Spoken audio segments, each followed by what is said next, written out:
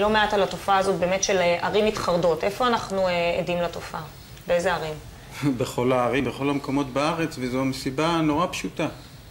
החברה, החברה החרדית, יש לה מצווה של פרו ורבו, ומילאו את הארץ. והממוצע שם הוא בערך, לפי הלשכה המרכזית לסטטיסטיקה, בין שבע לשמונה ילדים לזוג. באופן טבעי יש צורך בדירה, מתחתנים. צריכים לקנות דירה. עכשיו יש שני, שתי אה, שיטות איך בעצם לכבוש למעשה נדל"ן או לכבוש ערים חילוניות או להקים ערים חרדיות באופן אה, פרטני. דבר שהם מעדיפים, הם מעדיפים לגור במרוכז.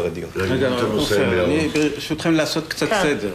העולם החרדי הוא מורכב, יש להם את החסידויות, יש את ש"ס, יש את החברה הליטאית וזה קצת עובד אחרת. החסידויות הם, יש להם קבלני בניין מאוד מקצועיים, מזהים נדל"ן כלכלי, כמו שעופר אומר, בפריפריה בדרך כלל, כמו בטבריה, שעכשיו חסידות ויזליץ' רכשה 400 יחידות דיור, הם עושים ביזנס טוב, הם יודעים לעבוד, רוכשים את זה, ומה שקורה, איך שהם גרים בעיר שהיא רובה חילונית כרגע, הם יודעים גם לעבוד פוליטית.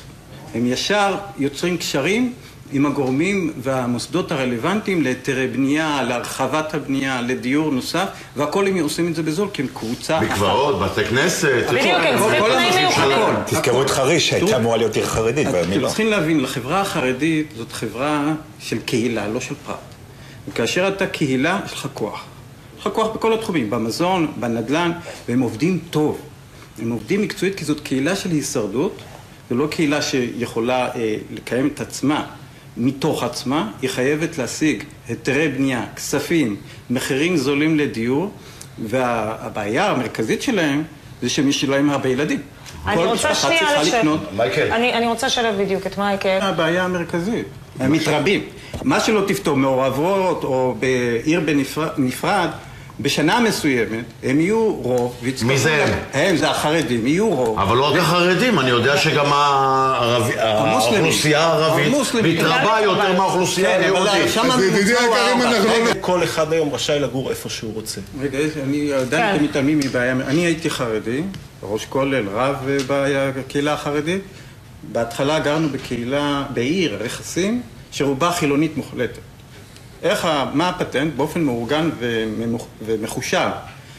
הקמנו ישיבה, היינו בהתחלה אה, בערך עשרה אה, אברכים, והיא נהפכה לאט בשפתיים. פתאום היא גדלה לאלף. שפתיים. הרעיון הוא נורא פשוט.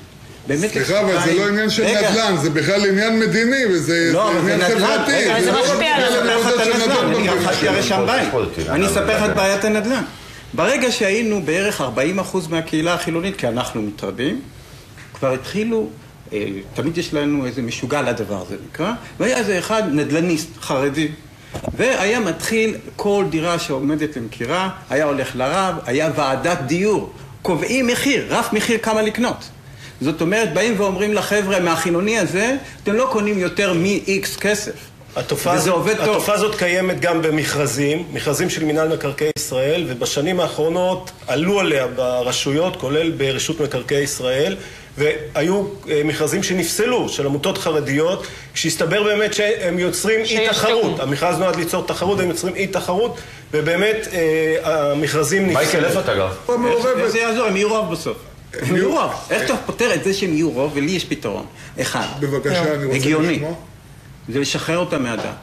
בלי שאתה מקבל... זה, ידידי, עכשיו אתה נכנס פה לפינה אני אגיד לכם מה זה לשחרר מהדת. זאת אומרת ככה, אנחנו נותנים להם אה, קצבאות ילדים אה, כדי לעודד אותם, ומענקי לידה כדי לעודד אותם להביא הרבה ילדים. אה, סליחה, אני לא מסכים איתך, אני בן אדם מסורתי בעצמי, איך אתה רוצה לשחרר אותי מהדת? מה?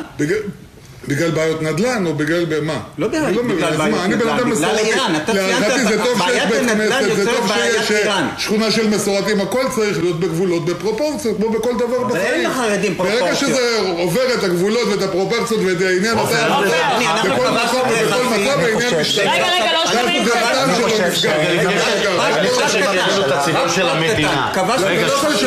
סגרנו את הספרייה היום. אני חושב איך אנחנו באמת, יש פה בעיה. או שיכול למנוע הקמת מקווה טבעון במטרה להחזיר בתשובה. אוקיי, אז מה עשית נגד זה? מה עשיתי? פניתי לראש המועצה, הקמנו הפגנות, בא ראש המועצה, אמר, חבר'ה, כל יהודי צריך לבוא לגור בכל מקום, כמו שאתה התחלת, שהחוק נותן לכל אזרח. עכשיו הם הקימו ארגון. להחזרה בתשובה, מחזירים את החבר'ה שלנו, הצעירים. איך הם קיבלו את מבנה הציבור? סליחה. המועצה אישרה להם. אבל קחו למשל את ה-BBC, רק משפט סיום. קחו את ה-BBC שזה בבני ברק, פועל בשבת, פועל בבני ברק. תאמר לי בבקשה, רק רגע, רק משפט אחד. אתה טוען שאתה רוצה, כמו שהם מחזירים בתשובה, להחזיר אותם בשאלה, זה הפתרון שאתה מציע? אני טוען שמדינת ישראל צריכה, כמו שהיא רוצה לשמור על רוב יהודי ציוני, היא צריכה לשמור על רוב יהודי חילוני ציוני. אוקיי. אז ברוח הדברים האלה אנחנו חייבים לסיים. בלי הגדרת המטרה הזאת, אנחנו נהיה מדינה דתית. אנחנו נסיים במשפט.